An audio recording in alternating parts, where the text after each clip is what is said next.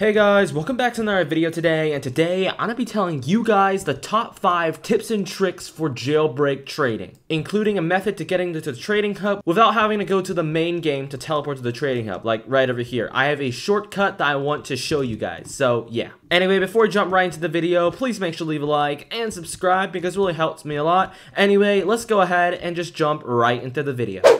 So the first tip is to stop using that jailbreak trading website. Stop using it. It's inaccurate and I can prove it. The first way you can tell this website is completely inaccurate is if you go to the official jailbreak Discord, you can see this message from the Dinobot. It's being posted every single minute. As you can see, reminder, jailbreak trading are unofficial items, price sources, and are not endorsed by Badimo. With this like warning emoji right over here. I don't know, man. It's literally being like, you know, said like every single minute to get people to, you know, don't use this website because, you know, it's not endorsed by Badimo. Because, you know, it's getting out of hand. Okay, so it says it in that channel, but Brian, like, why should I not use that website, you know? Like, well, I can't. It's like jailbreak traded. No, like, I want to use that website. Well, let me show you. So first of all, look at this. This is the torpedo from that website, um, basically five days ago when trading came out. It's literally 28 million, as you can see right there. It's 28 million. Do you know what the value is right now?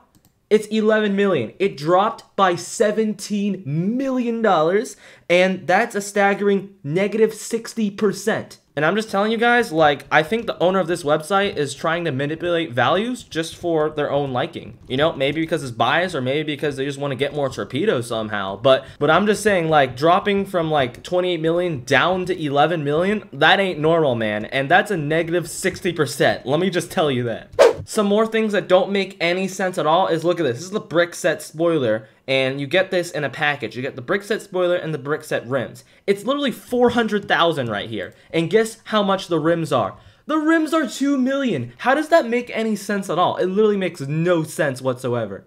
Another thing is the spinner rims is 20 million. Like, who even comes up with these values, man? And the Beam Hybrid, the rarest vehicle in the game, is 6.3 million. Like, okay. Anyway, stop using that website because it's so inaccurate and I see a lot of people using it and they're basically just getting completely bad deals. Like, people can easily give you bad deals using that website. So do not use that website. It's also made by a YouTuber in the community, but you know, I'm not gonna name who it is. The second tip is to use more than just the jailbreak trading hub. Use Discord servers. I'll recommend using the jailbreak Discord. The jailbreak Discord actually has a trading channel where there's a lot of people, so you can use the jailbreak one. Or you can use my Discord server. My, uh, my Discord server actually has a win slash lose channel, and I feel it's pretty useful because people can actually see if their deal is good or bad or something. And I also have a trading channel right over here, which is pretty active. I also have trade offers, so a less active channel, so you can find other trade offers. So, alright, my next tip is this really cool method that someone actually told me about, and that is to go to the Jailbreak Trading Hub without actually having to join the main game. Because right now I'm the main game, right? And like I have to drive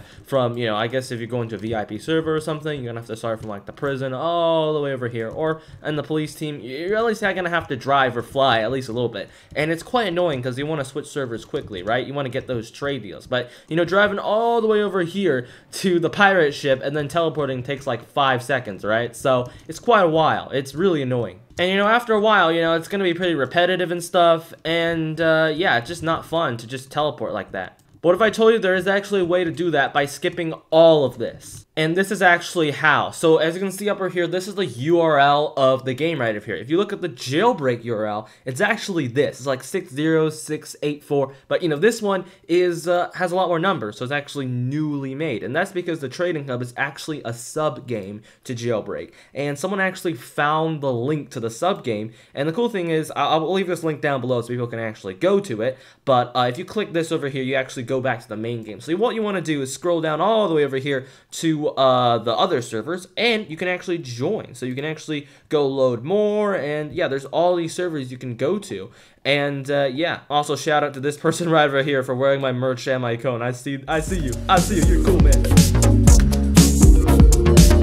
And you can also join friends. So if you have multiple friends, they'll probably show up here and you can go ahead and join them. And proof, let me just go ahead and just show you. I'm going to start up Roblox and uh, join uh, one of my friends right here. As you can see, look, jailbreak trading. I immediately join that server. And, um, yep. All right, it's taking a little bit of time. Come on, load, please. And look at that, I'm literally in the Jailbreak Trading Hub without actually having to go through the game, like the main game. I can just go straight to it, and this is so helpful. And that leads me to my next point, is to switch servers. I'll recommend switching servers every five minutes or so. Because, you know, like in the trading server, I feel like after five minutes, if no one gives you actually a good offer, you know, just switch. Five minutes, switch servers. Do something like that. You got to switch servers frequently because you got to find more people to do offers with. The next thing I would do is actually I would use million dollar vehicles to balance out trades. So for example, like uh, Ronald McDonald actually well, yeah, Ronald McDonald actually offered me a Brulee, so I can offer a concept, and look at that, that immediately balances out the trade. So after you balance out the trade, you can ask them, Ronald, what do you want for it, you know?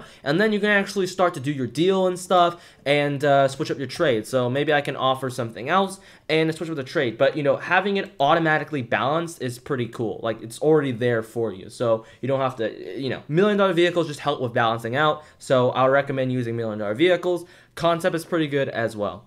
And that leads me to my last point, which is to know your values really well. And I know I just said not to use this jailbreak trading website, right? But I actually have two value lists, which I think will help you guys out a lot. I've made two of them, which I'll definitely show you guys. It's probably going to be on the end screen of this video or linked down below. So go check them out. It's a demand list, which I made based off of, you know, data from the official jailbreak Discord and my Discord. And it shows you the most popular vehicles. I personally go by that demand list and I feel it's pretty accurate. The only thing that I don't agree with on my own demand list is the Airtail. It's number four for some reason, but I think that's because everyone uses the Airtail to, you know, sweeten up deals. So that's why it's being mentioned a lot. Another list I have is a rarity list. Now this list people are actually using for trading, but honestly, I feel like it should be used for owners of the vehicles to understand how rare it is, not really for trading. So this rarity list will help you guys know how much your vehicles are worth and stuff, you know, how rare it is, is. And I used the most recent and confirmed information to make this rarity list happen, so you guys can go check it out. Unfortunately, Asimo is not showing the number of owners for vehicles for some reason.